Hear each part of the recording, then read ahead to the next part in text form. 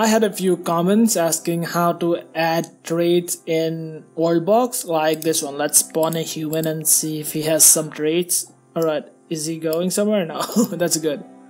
So this human does not have any traits. Let's spawn someone else. Uh, he also does not have any traits. Spawn a few more. Alright. This guy has strong. So I made a few videos where I leveled up maybe a person, made him really powerful, and also have a video where I leveled up a kingdom. If you want to check those videos out, then go check those videos out. Yes, I do make a lot of videos like this, the Worldbox videos, so if you want to watch those videos, then subscribe to the channel. The most asked question probably must be how to make the people immortal and what immortal does is make them not die of old age. So they will live infinitely until someone else comes and kill them. So to get immortal what you will have to do is give them some lightning strike. Now lightning strike might kill them so but yes there's some chance that they might get killed or or they might just get glitched out of the map. So do mind that. Let's strike them with lightning and see what happens. I hope it does not die. Oh, there we go he probably lost some HP so let's oh he's he's immortal already. So that that happened really fast. Sometimes that does not happen. You have to kind of do a lot of lightning strikes. All right th there we go. We have Gavis here who is immortal who also got energized. So we already have two skills.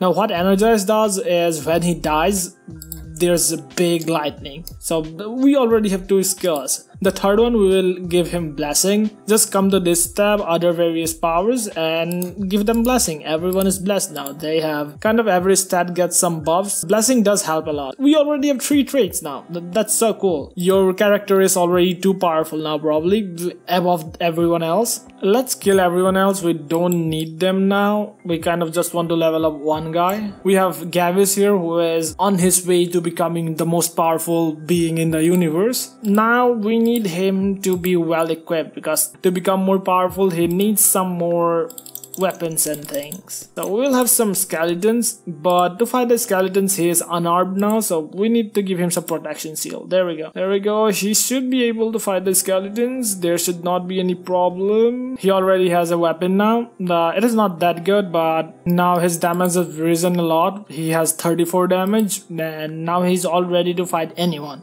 we will just give him protection shield and he will have the best defense there is and he should be able to kill anyone. So our next goal is to get the Mage Slayer and the King Slayer.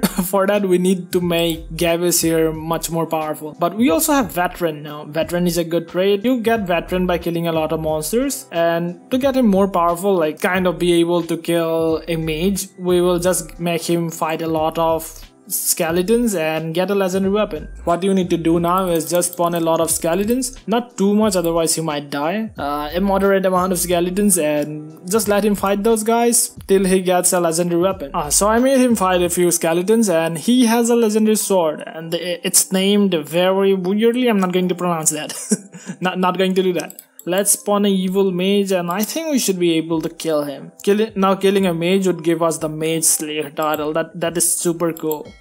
I think we should be able to do it right. Maybe, maybe... Oh, both of us died.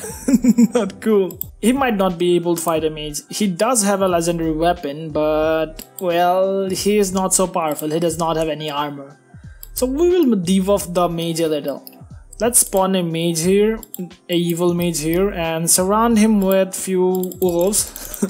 there we go. The mage should get a little weaker now, I think. Fighting a evil mage might be a little dangerous, so it would be good if you just do some water.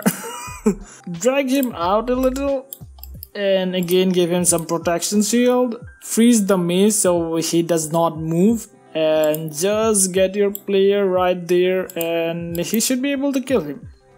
There we go, we killed the mage and now we have mage slayer on us. Now you might see this one night trait, we can get rid of it just by doing some divine light we want to kill a king. For that, we need to imprison this guy here so he does not move out. People do not build on sand, so we need some forest here, otherwise they will not build. Let's turn off let's turn off hunger because I don't want that guy to die of hunger. he does not have any kind of food.